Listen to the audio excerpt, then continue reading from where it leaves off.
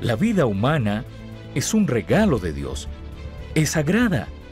Tiene una dignidad inviolable y la justicia requiere que reconozcamos y respetemos la dignidad de cada vida humana como creada por Dios. Como hombre provida, no solo se trata de la vida con respecto a los no nacidos, hay que darse cuenta de que incluye a los discapacitados, los enfermos, los ancianos. Si no tienes a Dios en tu vida, no tienes el carga tu cruz y sígueme. Si tú tienes el mismo valor que la silla en la que estás sentado, la eutanasia tiene mucho sentido, ¿no? Pero el sufrimiento nos da la opción de servir y amar, sea un hermano discapacitado o que vaya a un hogar de ancianos en cualquier momento. Todos somos hijos de Dios, con su aliento en nosotros. La dignidad está ahí. Esta cultura de la muerte requiere y exige de nosotros una respuesta espiritual. Requiere y necesita hombres que defiendan la vida, hombres que defiendan a los débiles, los pobres, los vulnerables, los ancianos, los discapacitados. Y eso comienza dentro de sus propias familias. Las escrituras hablan mucho sobre la protección de las viudas, los huérfanos, Proteger a los más vulnerables es nuestra más básica responsabilidad como hombres.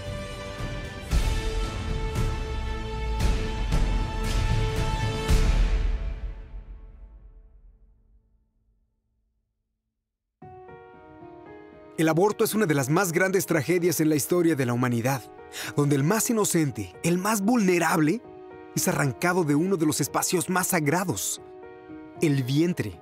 ¿Proteger a aquellos que necesitan protección?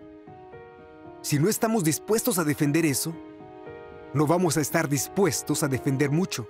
Es lo que estamos llamados a hacer como hombres. Es precisamente porque el niño en el vientre no tiene voz que esto se convierte en el problema primordial. Una nación que mata a sus propios niños es una nación sin esperanza. Hace un par de años, otra hermana y yo estábamos rezando afuera de una clínica de abortos. Un hombre llegó en su camioneta, bajó la ventanilla y dijo, Oigan hermanas, solo quiero agradecerles por estar aquí, porque hace 27 años llevé a mi novia a un lugar como este, pero había gente como ustedes afuera rezando. Así que seguimos de largo. Acabo de colgar el teléfono para desearle un feliz cumpleaños a mi hija. Y ahora tengo a esta hermosa hija. Gracias por estar aquí. Ese hombre, su nombre es André. Estaba buscando a alguien, quería ser un protector, quería ser proveedor. Y cuando se le dio esa entrada, esa ventana, cuando vio a otros protegiendo la vida, él entonces protegió la vida, protegió la vida de su hija. Un día mi esposa dice, creo que necesitamos adoptar. Y así que lo pensé, recé al respecto y dije, sí, está bien, estamos abiertos a eso. Dos madres biológicas nos eligieron, como a la misma hora, el mismo día, y fue como, órale Dios, Está bien, aquí vamos de nuevo. Una de las madres biológicas no quería entregar a su hijo en una adopción amorosa, pero dijo simplemente no puedo mantener a este niño. Y dijo, es que no quiero que la gente piense que no amo a este niño. Pero era obvio que sí lo amaba. Le dije, en realidad es todo lo contrario. Lo que estás haciendo es más como el mayor acto de amor que he presenciado.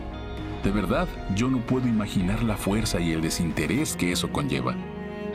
El amor implica sacrificio, Amor, el amor duele. Desde el momento en que sostuve a mis dos hijos menores, eran mis hijos. No puedo imaginar mi vida sin esos dos niños. Ábrete a la voluntad de Dios y de verdad, gracias a Dios que lo hicimos.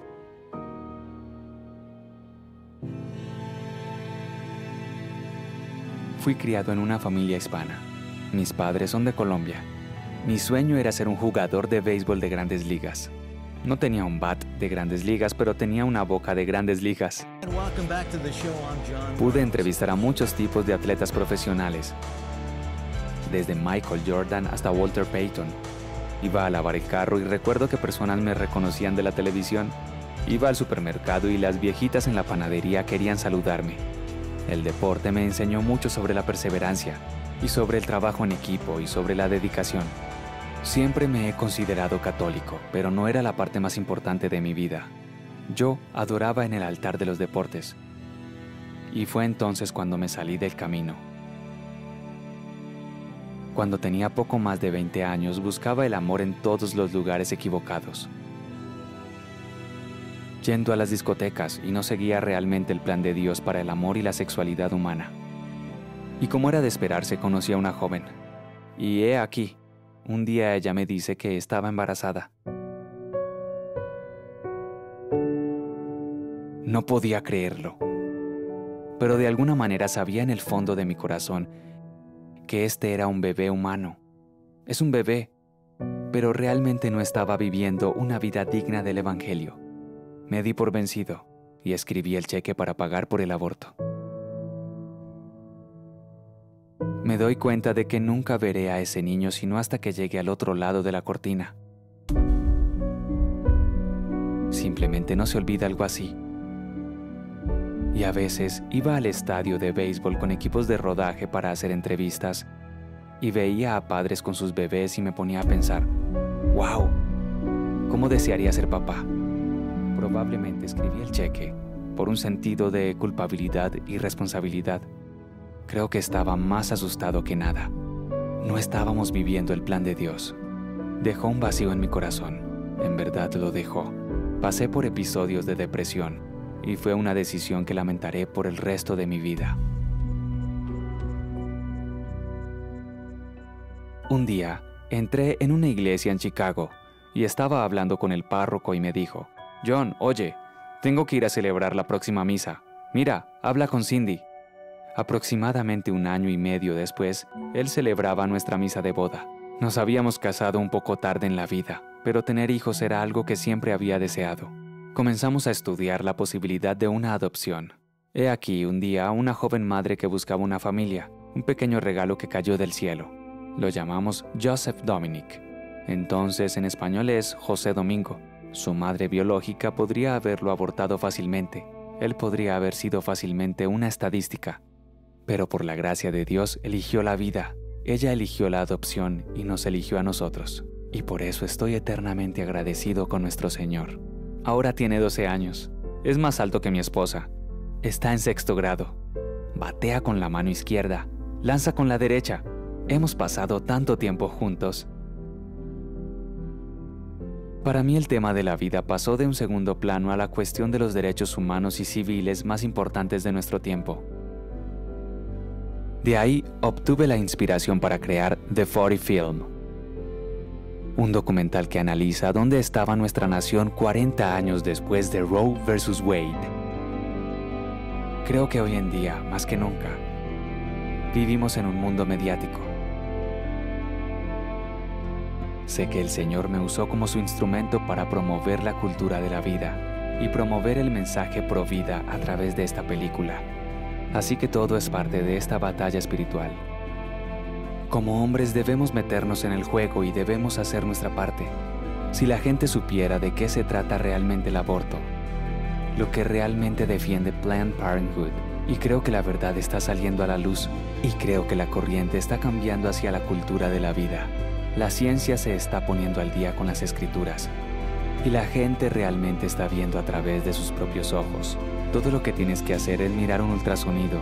El aborto no solo dejará de ser legal, sino que se volverá impensable.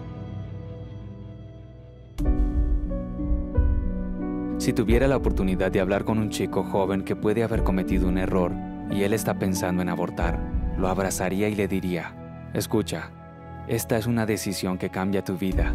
Es un ser humano, hecho a imagen y semejanza de Dios nunca olvides que siempre existe la opción de adopción. Mi vida es mucho más feliz debido a la adopción. Todos los días doy gracias al buen Señor por la alegría y la belleza de la santidad de la vida que tengo hoy con mi hijo pequeño.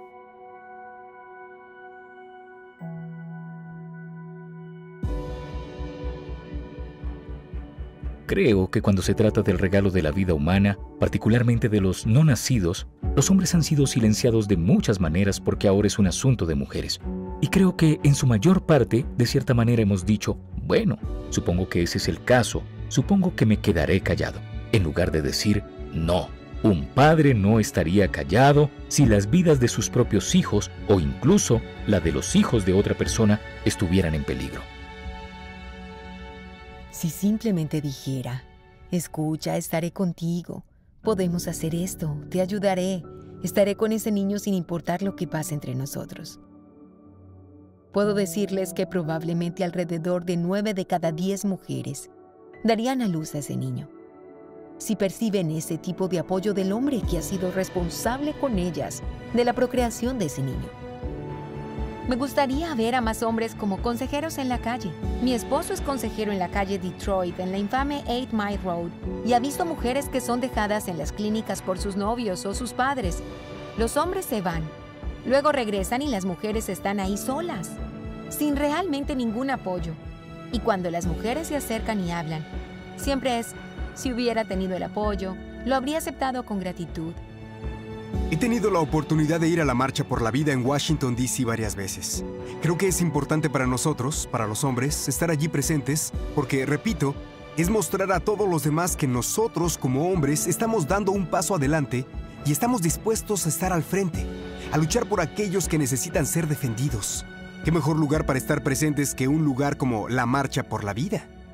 El deseo del corazón de una mujer es elegir la vida está simplemente impreso, la forma en que Dios nos creó, y los hombres tienen un papel muy importante en esto. Podríamos decirle a una mujer todo el día que nosotras creemos que sería una excelente madre, y si luego traemos a uno de nuestros voluntarios varones y él le dice lo mismo, cambia todo. No podemos quedarnos con los brazos cruzados y mirar cómo ocurren estas atrocidades tenemos que mantenernos firmes en la brecha y a veces eso simplemente significa decir algo, levantar la voz. Pero la mayoría de las veces tiene que ver con nuestras acciones para defender a quienes no pueden defenderse y ciertamente el niño no nacido, el más indefenso, nos necesita.